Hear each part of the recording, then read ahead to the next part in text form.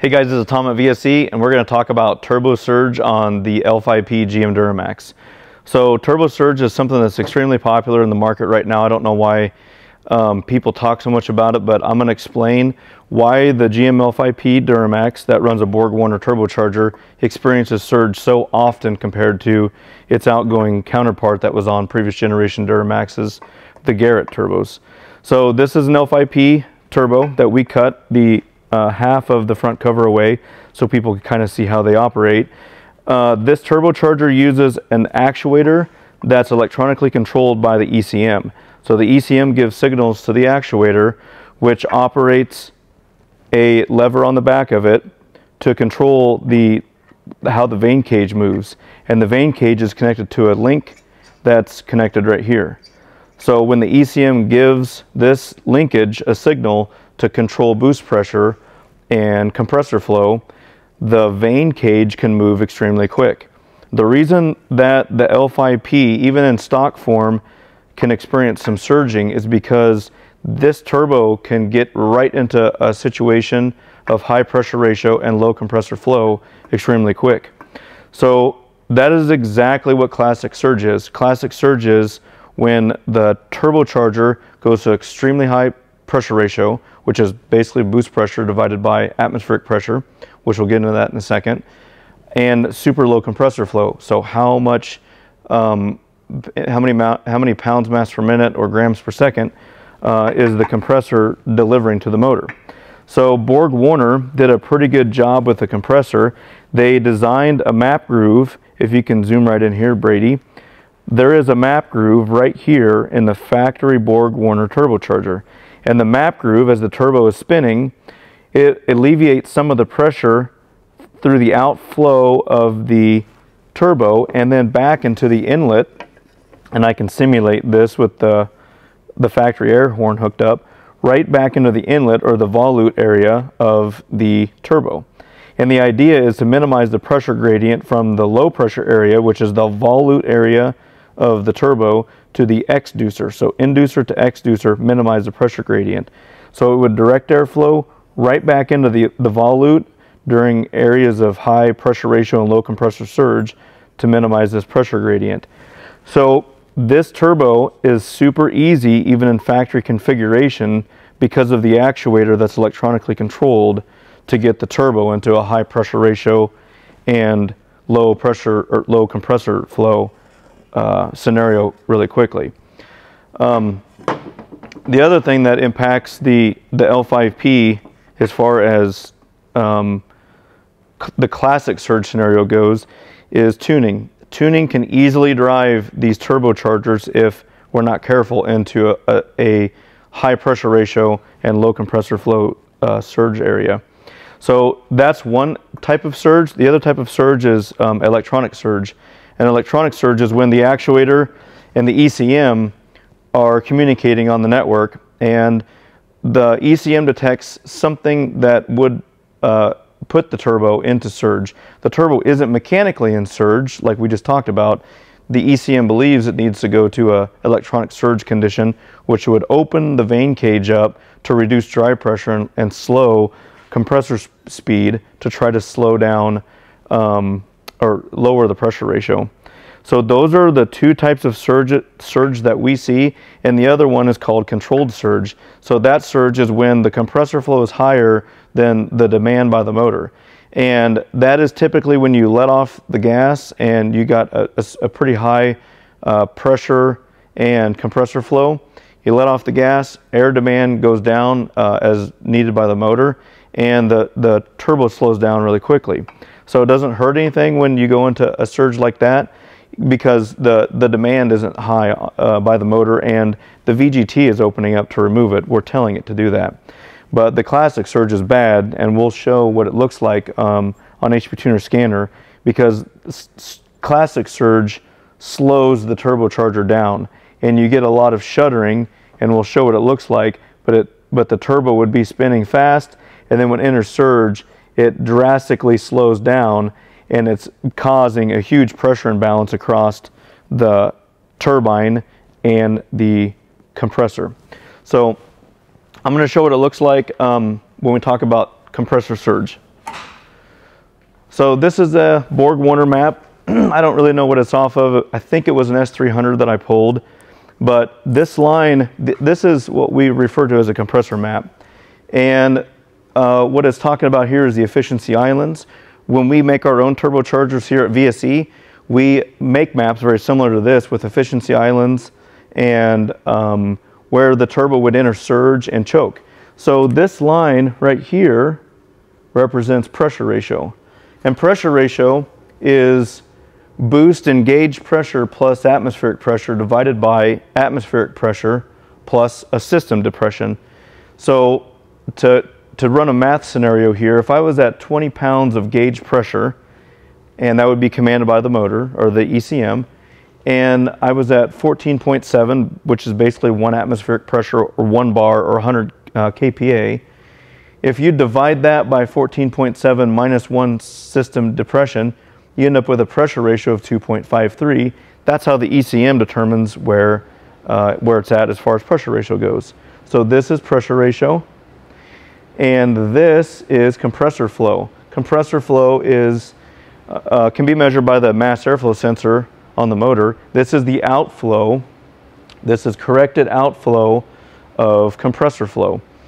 And a, a case where the, the, an L5P can enter surge very easy compared to like the LML and the previous generation Duramaxes is because if I was say at 0.24 um, uh, corrected mass flow, which is kilograms per second, and I take my 0.24 line and I'm sitting on the, let's just say right above where the, the compressor would be most efficient, let's just say 0.74 percent efficiency or 74% efficient, and the user stepped on the gas, the electronic actuator of the VGT on the L5P compared to the LML could very easily drive pressure ratio, boost pressure up extremely quick. And our users that have drove tuned trucks and stock L5Ps, they'll notice that. They notice that the L5P is extremely responsive compared to its uh, off-going um, LML and, and, previous generation Duramaxes. So pressure ratio can go up extremely quick compared to compressor mass flow. That's why the L5P goes into compressor surge extremely quick compared to the other Duramaxes. Um, that is a problem because this line right here, this black line that is not discussed on this map, but I'll tell you what it is, this is the surge line. And if you crest, cross the, surge line or come pretty close to the surge line, um, the compressor has a high probability of entering surge. So what the compressor will do to try to remove itself from surge is open the vane cage up or electronically, or it will lose its suction on the incoming atmospheric pressure. So again, if I'm at 14.7 um, psi atmospheric pressure, that's all I got for atmospheric pressure at the inlet of the volute of the compressor. So it will slow down rapidly, which lowers pressure ratio. Now I haven't asked for less compressor flow. The ECM is going to command a lower pressure ratio either electronically or the compressor is going to lose its grip on the incoming air, the atmospheric air, and that's going to lower the pressure ratio to get it away from the surge area. And that is uh, just a byproduct of the way the ECM and the algorithms inside the L5P ECM and mechanically how the L5P uh, compressor works. So things that will remove the compressor from surge or pull the, the idea is to stay to the right of this line. Things that'll keep it to the right is a really good air cleaner or something that that gives the turbo the most amount of possible incoming air at the inlet of the compressor. That's the volute section of the compressor.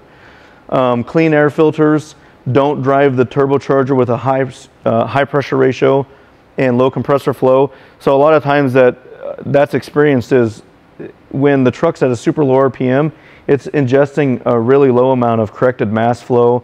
Let's just say 0.2, 0.16 kilograms per second um, area. So low RPM, 1200, 1300 RPM. And the user commands a really high pressure ratio and the corrected mass flow is still really low. Um, it's a scenario when the truck will easily enter mechanical surge. Uh, if it doesn't enter mechanical surge, eventually the ECM will see it needs to um, be an electronic surge and open the, the vanes up to try to remove some of the drive pressure to slow compressor speed down. So what does surge look like, um, mechanical surge?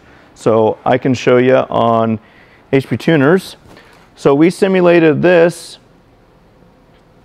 right here. This is with our 64.5 millimeter uh, turbo on, on our dyno. So what you see here is the, the pink line that's at the top is MAF, and that's in frequency or hertz, and the and pounds mass per minute, which is that light blue line. And I'm steady state throttle on the dyno, um, trying to get the truck to enter surge. So I have to command a pretty high pressure ratio to get there. So I'm asking for 16, 17 pounds of gauge pressure at a pretty low RPM and not a whole lot of fuel coming into the motor. And you can see that the compressor is starting to enter surge uh, right in this area. So MAF is bouncing all over the place. That's because the turbo is losing its grip on the incoming air. And we're at a barometric pressure. We're here in Nebraska, so the baro is about 14.2 pounds. It's logged on here, but 14.2 uh, pounds uh, absolute pressure. So we only have so much to work with. The MAF is starting to see it, and you can see the oscillations are getting higher in what's called amplitude. So they go up and they get bigger. Uh, the ECM actually sees all this stuff going on. So the lambda limit, and that is, uh, so lower lambda values would mean that the mixture can be richer, like AFR can be richer. And higher values would be a leaner mixture, and that would be our limiter. You can see right here the squiggly mark, the, the lambda values actually seeing it because it knows that now there's lower airflow coming in. Um, the ECM also sees it because of grams per cylinder air mass. So 1.95, you can see where the MAF started to go all over the place. The grams per second, or the, the, the cylinder air mass went way down for a moment and then uh, responded as the turbo uh, exited it. It exited it by giving it a lower signal for fuel. So here's my fuel rate. It dove way down. Main injection pulse, it went way down also. Uh, desired vane position was all over. The turbo is actually entering electronic surge here. So all these things happen and it's actually pretty rough on the turbocharger to do this. That is the classic surge scenario where the truck is under load, we're in the gas, we're commanding decent boost. The truck's actually entering a boost pressure that it can hit, but the turbo's in, in actual surge. So that's what it looks like on the HP Tuner tool. We see that quite a little bit when we're reviewing data logs. It's a lot easier if we can just simulate it um, on the dyno. So when people want to know what are what what can it impact, so I don't know. We're rebuilding turbochargers now and building our own lines of turbochargers. So this is a rotating assembly out of the L5P turbo. This happens to have uh, our FTR compressor wheel on it. But what actually matters is this thrust bearing that pushes against this thrust washer that sits behind it. Every time this turbo surges inside the vane case or inside the, the rotating assembly, it's driving pressure backwards into the thrust bearing. And that thrust bearing sits against a thrust plate, which, which is lubricated and cooled by oil and it looks like this. So this is an OEM one. This is the thrust bearing, brand new, and this is the thrust plate, and the turbo puts pressure right on top of this. And every time the turbo surges, enters surge, it is pushing force off and on against this film here, and eventually what happens is it hot spots this thrust bearing and thrust plate and burns them up. And when they start wearing some of the surface material off these, uh, the turbo doesn't respond nearly like it used to. It, you would you would think it has a boost leak, but in fact, it doesn't have a boost leak. The turbo is grinding into this thrust plate, and then it just operates at a slower speed. We've seen that on almost every turbo that has experienced surge that we've taken in and rebuilt as a core. So GM did a pretty good job with their intake horn. They included this uh, It's a surge guard from GM built into the plastic intake air horn. We came out with our own style. And again, it's not a restriction. A lot of people would think, well, geez, it's got to be a restriction because it necks down. Well, by design, this is actually trying to eliminate, eliminate how much thrust outflow go doesn't get into the volute. So again, we want to, if I bolt these up and everybody looks at that, all we really did in our design was give us another millimeter of clearance between the map groove area and the inlet of our air intake horn. Especially when we push these turbochargers a lot harder than factory, it's important to keep at least some thrust area there so we can eliminate some surge. So if you guys got any more questions about turbo surge, what causes surge, how to limit surge, what it would it feel like uh, operating on the road, um, you can always give us a call, 833-789-7700.